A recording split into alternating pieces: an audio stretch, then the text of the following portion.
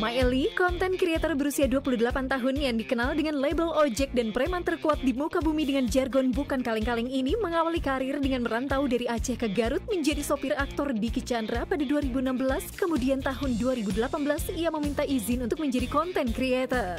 Pria yang pernah dituduh ibunya membeli konten syur ini, kanal YouTube-nya sudah mencapai 7,9 juta subscribers.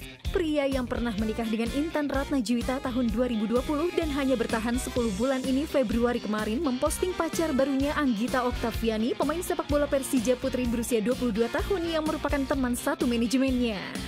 Benarkah Maeli sempat tidak percaya diri untuk mendekati perempuan karena status dudanya? Dan mengapa sampai saat ini Maeli selalu bungkam masalah rumah tangganya? Saksikan kisah selengkapnya hanya di Rumpi No Secret. Kita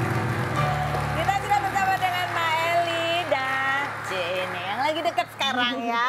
Eh, Anggita ya, hai. Eh, dia kan satu manajemen, tadi aku dari tempat tanya-tanya gitu. Jadi mereka tuh karena satu manajemen, dia suka main bola. Akhirnya untuk cari-cari perhatian, dia ikutan main bola gitu ya kan? Ya. Cari keringat mbak. Olah, tadi nggak bilang begitu, bukan keringet yang dicari. Ya sekalian. Oh, sekali. Iya. Eh, gitu. Siapa yang naksir duluan berarti? Nggak ada sih sebenarnya karena satu manajemen. Aku dia nggak ngaku. Hah? Padahal dia sendiri yang bilang. Enggak, kan satu manajemen. Terus? Jadi kayak sering meeting bareng. Oh, terus? Ada project bareng, terus meeting bareng di satu meja bareng. Ah, ah, terus? Terus kayak udah temu kawan aja gitu. Oke, kawan. Temenan. Ah, ah, terus? Terus ah, ah, Terus, terus, terus. waktu ada project bikin konten YouTube, Ah, ah. ah, lagi break, Mm-mm. terus manajerku Ah, ah. Om Robert Ah, ah. bilang, "Lih, Ah, ah. mau nggak?" Ya, gitu Iya. katanya. Serius? Mau nggak? terus, terus, terus? Terus Mail saya mikir dulu dong. Sombong banget, sumpah. Aduh. Iya. Mbak. Mikir dulu. Selang satu detik aku bilang mau. Mikirnya cuma sedetik Iya. ya, astaga. Ya, tapi ada jedanya Yang penting ya. ada jeda. Kalau kamu gimana ceritanya? Kamu juga ditawarin gitu sama si Om Robert? Sama, Om Robert sama, ini kayaknya bener banget sih ya. Udah merencanain dia. Uh, uh, uh. Sama aku lagi kayak apa pas uh, ikut di konten, Uh, uh. konten dia, terus tiba-tiba dipanggil, Gita sini, Uh, uh. kenapa om? Mau nggak sama Mael? Lah apaan sih? Gitu. iya kamu Kak. kamu nggak usah pakai mikir itu yang terlintas cepat. Iya. Ih, apaan sih? Iya, gitu. apaan sih? apaan sih gitu kan? terus, terus? ngobrol, ngobrol. Boleh juga sih om. Gampang, gampang itu dia. Tapi, tapi berarti udah tertarik Iya. Kalau dia dong. mungkin Mbak awalnya main-main kan. Iya. Awalnya bercanda. Bercanda, biasanya kayak cuman ya udahlah buat fun aja. Oh gitu. Iya. Kalau kamu serius. Oh serius. Aku kan orangnya serius. Dari mikir satu detik itu bisa serius ya. Iya. Nah, terus kan katanya kalian tuh jadiannya sebenarnya udah agak lama, tapi baru dipostingnya pas eh, 14 Februari itu kenapa sih? Yang nggak mau diposting duluan tuh siapa? Dia ya?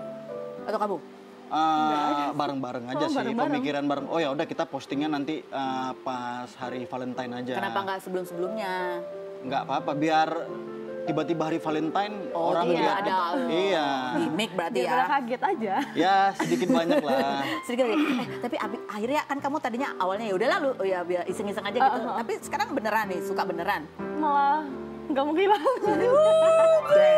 Pelatnya apa sih? gitu. Apa ternyata yang kamu temukan dari Mbak Eli sehingga kamu Jawab. Nah, jawab, jawab. Eh, apa ya? Heeh.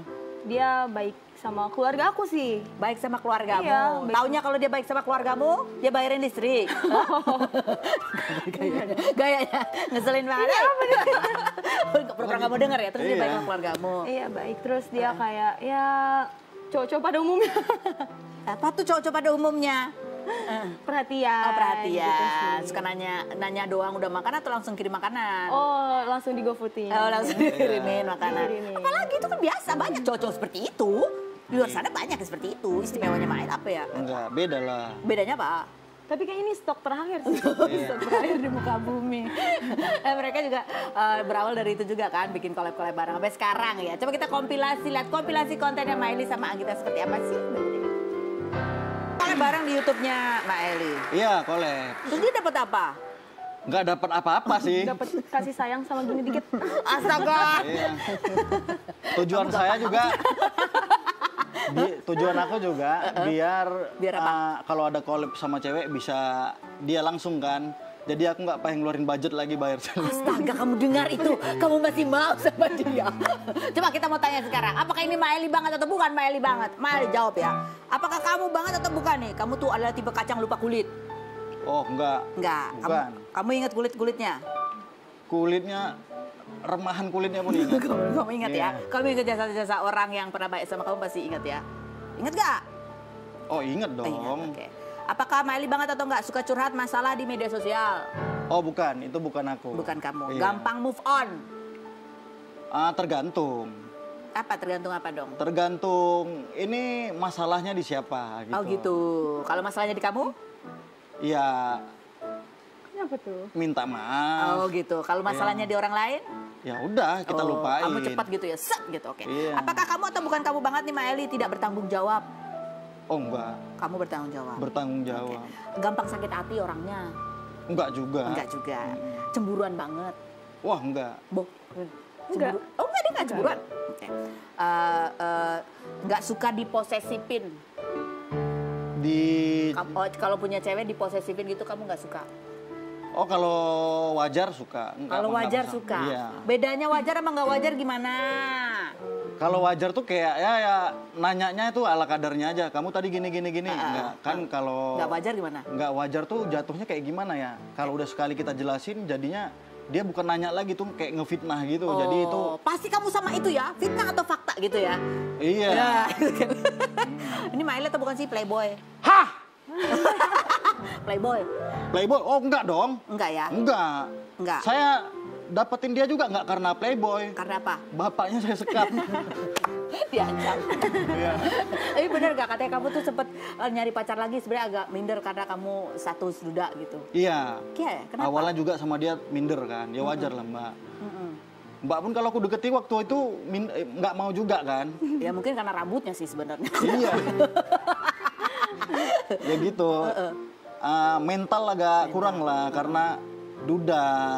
Apa emang dikhawatirkan dari status itu? Ya kan ah, kebanyakan orang berpikir tuh kalau duda nih ya Ada dulu masalah. masa lalunya tuh kurang bagus berumah tangganya kan.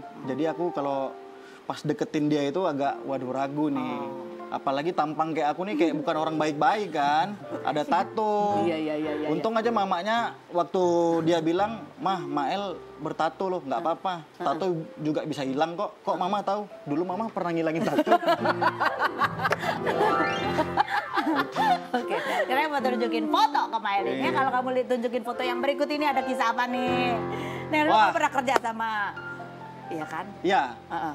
itu bapak saya ini. Bapak saya. Dulu manggilnya apa? Bapak. Bapak, ya Iya. kan? Bener nggak dulu waktu kamu kerja ja- apa mau antar jemput anaknya dulu ya? Hmm. Itu kamu sering susah dihubungin karena kamu sibuk bikin ngedit-ngedit konten YouTube Beberapa kali. beberapa kali Ba- beberapa dan kamu kali. sering bolos nggak masuk kerja karena sibuk ngedit YouTube. Beberapa kali. Beberapa Jangan kali. Mbak sering bilang bolos. Ah, ah, ah. Nanti dia nonton, oh. Oke, emang dia nggak tahu. Kamu Ya, alasannya apa waktu itu? Hah? Alasannya apa itu? Mancing. lagi mancing pak gitu. Iya. Oh, kamu nggak bilang lagi ngedit YouTube gitu nggak? Enggak, soalnya kan awal-awal tuh aku takut kan Mbak. Maksudnya ah, aku kok nggak serius nih di supir. Ah, ah, Ah, jadi aku tuh sembunyi-sembunyi awalnya. Dimarahin nggak? Pernah dimarahin nggak dia? Dia nggak pernah tahu, jadi nggak pernah marah. Tiba sekali tahu dia nggak marah, malah support aku untuk dia nggak buat. marah? Oh ya udah, nggak apa-apa. Kreativitas jangan ditunda-tunda. Sekali pernah marah sekali aja pernah marah nggak dia? Enggak, Nggak pernah? enggak, Jadi orangnya baik dong, gampang dibohongin dong. Kamu bohongin dia enggak percaya. pernah. Hah? gampang banget ya.